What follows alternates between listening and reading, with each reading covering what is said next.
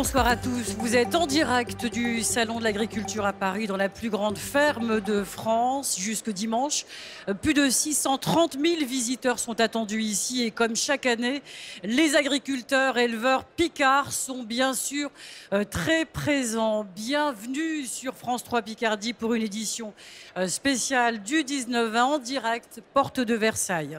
Le Salon de l'Agriculture, rendez-vous incontournable pour les hommes politiques. Ce matin, le Premier ministre Édouard Philippe a rencontré les agriculteurs. Ils ont exprimé euh, leurs attentes concernant le plan d'investissement de 5 milliards d'euros dans l'agriculture, la pêche, l'agroalimentaire, promis en septembre dernier par le gouvernement. Et puis, Laurent Vauquier, le président des Républicains, était aussi en déplacement ici. Et puis cet après-midi, Florian Philippot était présent ainsi que François Bayrou, le président du Modem. Deux invités avec moi sur ce plateau pour parler de l'agriculture picarde durant ce journal. Euh, Xavier Bertrand, bonsoir. Alors, vous êtes le président de la région des Hauts-de-France, faut-il le rappeler, et face à vous, euh, Nadou Masson, bonsoir. Bonsoir. Vous êtes président de l'association Bio en Haute-France. Eh bien, merci à vous deux euh, d'être avec nous ici. Avant de vous donner la parole, on retrouve Laurent Pénichou pour nous rendre compte de l'ambiance dans le hall euh, consacré à l'élevage. Bonsoir Laurent. Vous êtes parfaitement accompagné, je vois. Oui, bonsoir Zora. Effectivement, on est parfaitement accompagné. Certaines des vaches présentes ici sont en train de rentrer chez elles. Elles seront remplacées par d'autres demain.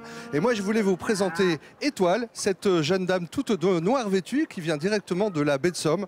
Ça, ce sera pour tout à l'heure, Zora. À tout à l'heure, Laurent. Ce mardi, je vous le disais, c'est la journée des Hauts-de-France. Éleveurs, agriculteurs picards viennent ici pour valoriser leurs produits, une vitrine incontournable pour eux. Euh, tour d'horizon avec Christelle Sivat, Clément Jean-Pierre. Regardez. Ils sont bien là, les produits picards. Haricots de soisson, gâteaux battus, terrines, ficelles, de grands classiques mais aussi des nouveautés comme la spiruline, une microalgue séchée, riche en minéraux et en vitamines un complément alimentaire, soit pour les sportifs, soit pour des, gens qui l'utilisent pour des raisons de santé. Et c'est intéressant parce que ça veut dire qu'aujourd'hui, on a des agriculteurs qui réfléchissent au produit, à sa transformation, à son utilisation par le consommateur. Autre innovation, le quinoa made in Picardie pour les gourmands pressés. Un quinoa prêt à consommer, deux minutes au micro-ondes. Et là, vous pouvez l'utiliser comme ça, naturel, ou ensuite l'assaisonner dans différents plats. Ce qui prouve bien qu'en Picardie, on a beaucoup d'idées. Le salon de l'agriculture, c'est l'occasion de déguster des produits phares autrement, comme ici la pomme de terre. C'est vraiment très chouette. Il y avait quoi dedans? Il y avait de l'olive, du jambon, il y avait des, pommes de terre. Très bonne et très fondante. Un produit identitaire pour la région Hauts-de-France, mais ici, elle se revendique picarde. On est bien sûr Hauts-de-France maintenant sur les, les pancartes, mais on est aussi, on reste picard. Nous sommes des Picards des Hauts-de-France.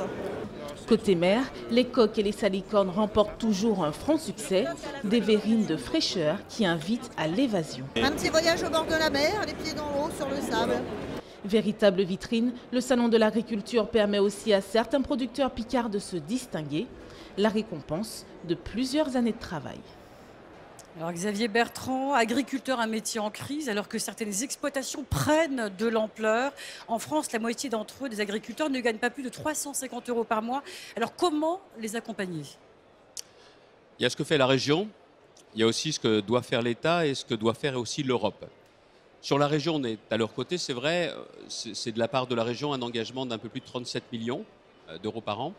C'est surtout l'idée de permettre aux jeunes de s'installer, et c'est aussi de permettre à ceux qui sont dans la difficulté de faire face aux difficultés, ce qu'on a fait depuis le début. Ça ne suffit pas, parce que maintenant, il faut poser les, bases de l'agriculture de demain et d'après-demain dans la région. On ne m'enlèvera pas de l'esprit aujourd'hui qu'il y a quand même des nuages sur les agriculteurs aujourd'hui. Il y a la question du traité du Mercosur, il y a la question de la nouvelle politique agricole commune, et puis il y a quand même la question des charges. Vous avez dit le chiffre, je ne sais pas si les gens réalisent bien, ceux qui nous regardent, c'est qu'aujourd'hui, vous avez des agriculteurs, des familles entières qui vivent très en dessous du SMIC. Et comme ce ne sont pas des salariés, tout le monde est un peu indifférent. Or, ça ne va pas pouvoir continuer comme ça très longtemps. Il y aurait d'autres qui, euh, eux, par contre, euh, s'en sortent vraiment très bien. C'est ce contraste. Ça fait deux ans que vous présidez la, la région. Sort très bien? D'autres exploitations beaucoup plus importantes. Eh oui, mais au final, on a le sentiment, parce qu'il y en a certains qui vont bien, qu'au final, tout le monde va bien. Or, ce n'est pas la réalité. Même les céréaliers, les betteraviers que je voyais tout à l'heure, connaissent maintenant, depuis plusieurs années, des années difficiles. Et il y a aussi des nuages. Mais il y a des gens qui sont en dessous du seuil de pauvreté. Et ce que je voudrais dire à ceux qui viennent au salon, il y a un côté très sympa au salon, très chaleureux, on voit des spécialités, on voit les animaux. Mais il faudrait ensuite aller dans la ferme, voir comment c'est produit, comment les paysans vivent et de voir les difficultés. Et on s'apercevrait que toutes les difficultés du monde paysan, ce n'est pas une fable c'est une réalité. Alors, ce n'est pas seulement aux gens de réagir, c'est aussi aux politiques. Alors, justement, les politiques, Emmanuel Macron donc, a passé plus de 12 heures avec eux euh, samedi. Qu'avez-vous pensé de ces annonces auprès du monde agricole et la, la jeunesse la veille? Mais regardez, on tombe dans le panneau. Mais on s'en fout de savoir si un politique il a passé 11 heures, 12 heures ou 13 heures. Le vrai sujet, c'est est-ce qu'on agit efficacement pour que demain, ce qu'on a dans l'assiette, c'est de bonne qualité ou c'est pas de bonne qualité? Et moi, ce qui m'intéresse le plus, c'est si on tient à ce qui est de la qualité dans l'assiette, pourquoi le président va signer le traité du Mercosur avec l'Amérique du Sud? Je vous pose la question. Parce que si on dit que la qualité c'est important, alors on ne signe pas ce traité. Je vous donne un, tableau qui a été préparé par le monde agricole. Je ne sais pas si on le voit bien à l'antenne, qui montre les réglementations. Vous avez notamment la part d'OGM dans les rations alimentaires animales. En Europe, c'est 5%. En signant ce traité, nous aurons des produits avec 80% de part d'OGM. Les farines animales, elles sont interdites en Europe. En signant ce traité, nous allons avoir des produits avec des farines animales. Alors je suis désolé, on ne signe pas ce traité. Alors ce classement, on vous a entendu pour poursuivre. Les Hauts-de-France, troisième région agricole et agroalimentaire de l'Hexagone, la première région productrice de blé tendre, betteraves, pommes de terre, endives. Et puis notez que 10% du lait français est produit dans notre région. La Picardie en tête de classement, mais néanmoins l'agriculture est en pleine mutation. Une profession euh, critiquée euh, parfois pour ses pratiques et ses choix. Le glyphosate est pointé du doigt selon une récente étude. Comment euh, lutter contre les pesticides Certains agriculteurs ont relevé le défi. Alexandre Hébert, Delphine Dubourg. Seul sur sa barque, René Novak se rend sur son petit îlot. Comme chaque hiver depuis 41 ans, ce maraîcher va préparer sa terre avant d'y planter ses fruits et ses légumes. Particularité, il cultive sur un ortillonnage, une terre marécageuse. C'est la vase qui lui sert d'engrais, une technique qui lui permet de se passer de produits chimiques. Aux ortillonnages, rarement les ortillons mettent de l'engrais. Une fois on met du fumier, une fois euh, on fait des engrais verts, et une autre fois on met les alluvions qui sortent des fossés des rigueux pour arriver à, avoir de bonnes récoltes sur des petites surfaces, puisqu'au fond c'est des petites surfaces, donc on n'a pas besoin de grosses quantités. Une petite surface, c'est le pari qu'a fait cet autre maraîcher il y a trois ans. Un demi-hectare sur lequel il pratique une agriculture biologique. Ici aussi, aucun produit chimique, un choix qui le force à vendre ses légumes très localement et demande une attention de tous les instants. Il travaille à la main ou avec des outils qu'il a conçus lui-même. Et puis aussi, c'est par euh, des préparations naturelles. Euh, moi, je prépare des purins d'ortie euh, par des protections naturelles, c'est-à-dire des bâches, c'est-à-dire certains filets anti-insectes, l'observation de ce qu'on appelle des auxiliaires. bienvenue les hérissons qui viennent manger les limaces, bienvenue les coccinelles qui viennent manger les, les pucerons. Se passer de produits chimiques, impensable pour cet exploitant agricole. À 25 ans, Thibaut Delacroix utilise régulièrement du glyphosate un désherbant qui lui permet de moins labourer sa terre. Avec l'interdiction programmée de ce produit, il devra abandonner cette pratique et craint des conséquences sur l'environnement. Il y aura forcément un deal à jouer, soit on garde le glyphosate et on amène, donc on limite l'érosion, on limite euh, la, dilution des nitrates vers les nappes phréatiques et d'autres éléments minéraux. Euh, on participe aussi euh, à la baisse de l'effet de serre au niveau de l'atmosphère, ou alors on, arrête l'utilisation du glyphosate et par contre on amène d'autres impacts négatifs sur les différents points. Des produits encore très utilisés. Selon une étude, 72% des fruits et 41% des légumes non bio présenteraient aujourd'hui des traces de pesticides. Xavier Bertrand, une grande partie des agriculteurs souhaitent continuer à utiliser le glyphosate dont on sait que c'est cancérigène. Que leur dites-vous ce soir? Que l'interdiction a été décidée par Bruxelles. La question, c'est pourquoi on veut aller beaucoup plus vite que Bruxelles s'il n'y a pas les solutions. Vous avez entendu ce que disait Thibault. Il en parlera beaucoup mieux que moi. Il, a indiqué il a compris, mais il dit derrière, par quoi on va remplacer, quelles seront les conséquences? Et je pense que quand on dit il y a interdiction, on doit proposer tout de suite des solutions. Très bien. Alors, petit rappel hein, pour ceux qui nous regardent, l'Union européenne, la sortie du glyphosate, eh bien, pour elle, c'est dans 5 ans. Emmanuel Macron s'est fixé 3 ans. Euh, Nadou Masson, euh, que conseillez-vous aux agriculteurs qui souhaitent en sortir? Ce- Ceux qui souhaitent en sortir peuvent faire. Excusez-moi, j'ai- j'ai j'ai pas trop de voix. hein. Je, Euh, je peux, le- je peux leur dire qu'en agriculture biologique, on n'utilise pas de glyphosate et que euh, on y arrive. On peut le faire. On peut le faire parce qu'on a allongé nos rotations, parce que on multiplie le nombre d'espèces qu'on cultive, parce que, parce que voilà, c'est tout un système qu'on remet, euh, qu'on repense, et que donc je veux dire que c'est possible. Maintenant, euh, ça demande du temps, de la réflexion, et que quelque part, cette date d'interdiction, je ne sais pas si elle doit être à 3 ans ou à 5 ans, je pense qu'il faut qu'elle soit, il faut qu'il y ait une date pour qu'on puisse y travailler, parce que euh, tant qu'il n'y a pas de date butoir, eh ben, on, on remet au lendemain les choses. Je pense qu'il est important que euh, le monde agricole se re-questionne sur ce produit glyphosate et peut-être sur d'autres aussi derrière, puisqu'il y en aura d'autres. Un monde agricole en plein questionnement, on l'a vu. Qu'en est-il de l'agriculture biologique, en tout cas dans les Hauts-de-France? Le point avec Simon Colaon. Vous aimez manger bio et local? Voyons justement où on en est dans les Hauts-de-France. Bah oui, parce que c'est tendance, mais c'est à peu près tout. Ok, le bio et les circuits courts, on le vend en poupe depuis quelques années. Un exemple, les surfaces exploitation bio ont quasi triplé entre 2008 et 2016 dans la région.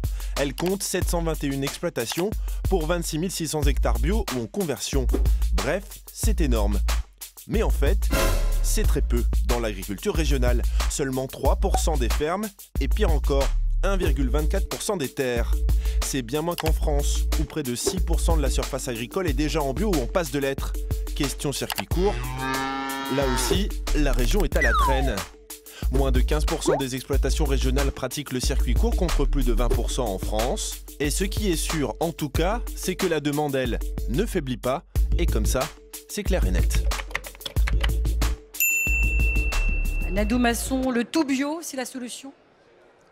Le tout bio, ah ben, je ne sais pas si c'est la solution. C'est ce que moi j'aurais envie, c'est ce dont je rêve, parce que je pense que euh, pour la, pour la, la qualité de l'aliment, pour la santé de nos concitoyens, euh, plus il y aura de bio et mieux ce sera. Plus elle sera accessible, surtout, et c'est là-dessus qu'il faut qu'on travaille, l'accessibilité de tous ces produits en termes de prix et en termes de géographie, que sur tout le territoire il y ait euh, ces produits.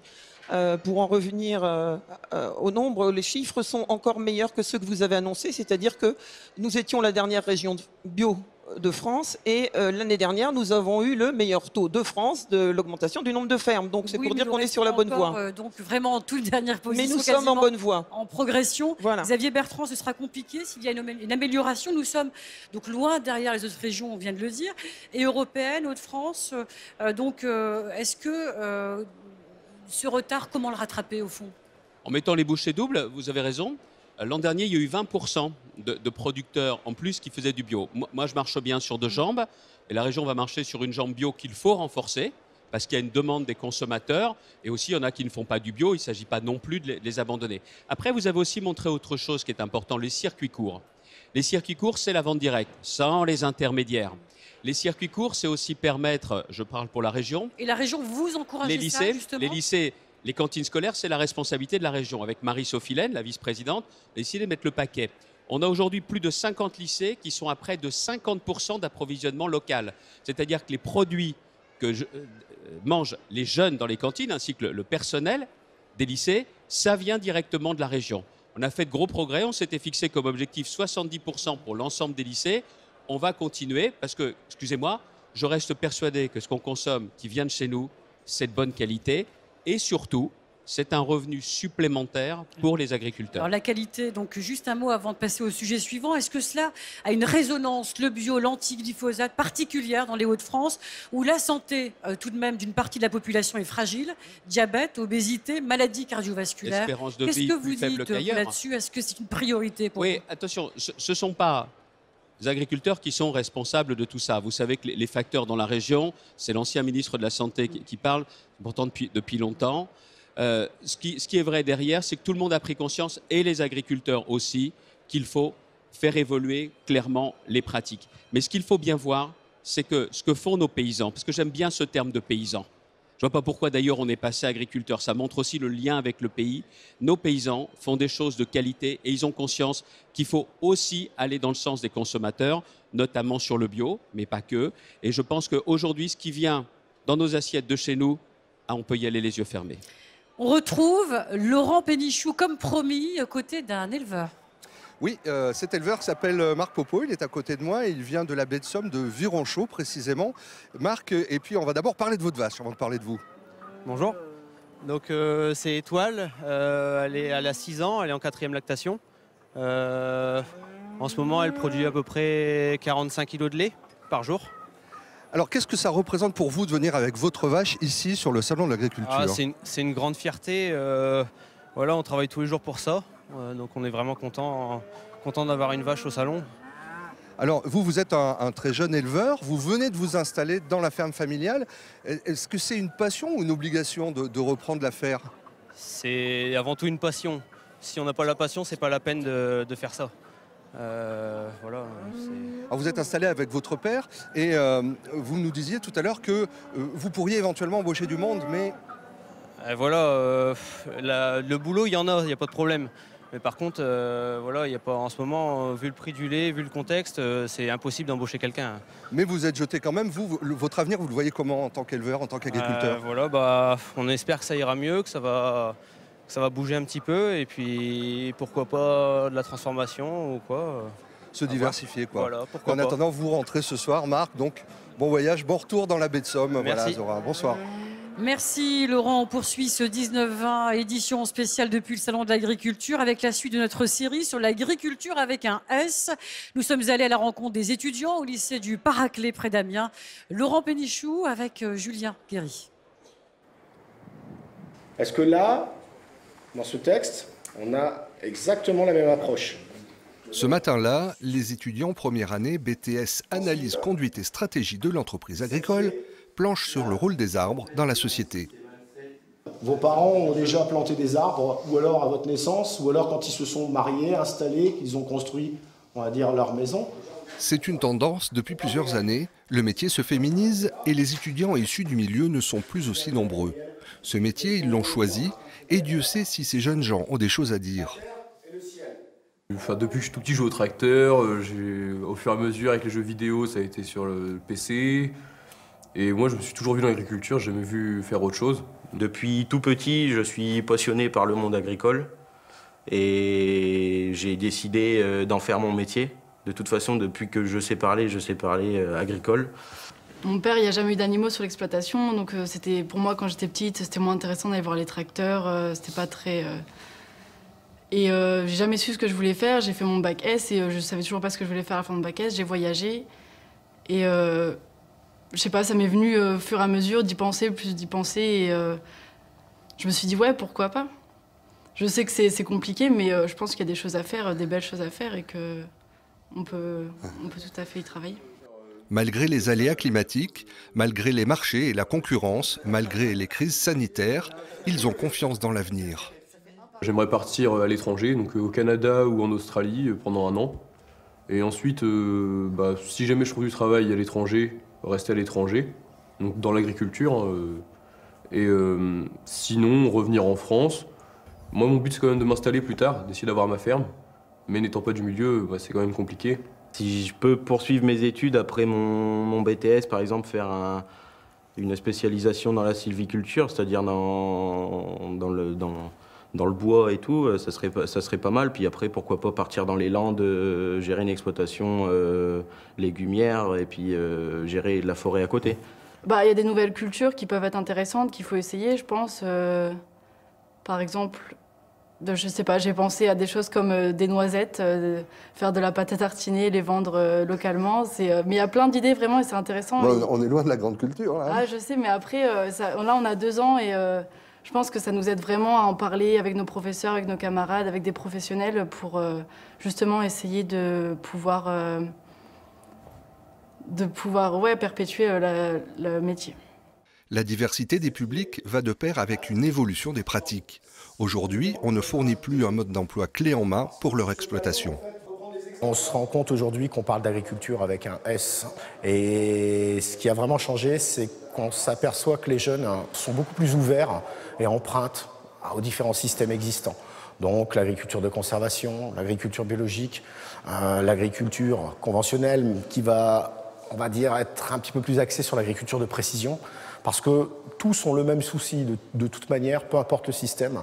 Ils doivent tous baisser les intrants euh, par rapport aux législations en cours. Donc tout le monde fait vraiment un gros gros travail de réduction à ce niveau-là. Au lycée du Paraclet, on peut entrer dès la fin de la troisième et poursuivre jusqu'à Bac plus 3. Sans oublier la formation continue pour les adultes, plus de 600 élèves fréquentent l'établissement. Nadou Masson, former les jeunes générations, ces étudiants au bio, une agriculture sans produits phytosanitaires. Alors estimez-vous que les écoles, les formations sont suffisantes en Picardie? Euh, je pense qu'il y a, enfin, il y a les programmes qui sont prévus euh, pour, par expérience et de ce que j'avais pu entendre. Et je pense que c'est en train de changer. Malheureusement, c'était un peu euh, au bon vouloir du professeur ou de voilà, et que du coup, c'était pas forcément fait comme il fallait. Et je pense que c'est en train de bouger. C'est en train de bouger parce que ça bouge partout autour de nous et qu'il y a de la prise de conscience qui se fait de partout au monde. Bouger, mais ben, dans le bon sens, c'est-à-dire que les gens prennent conscience du changement à effectuer.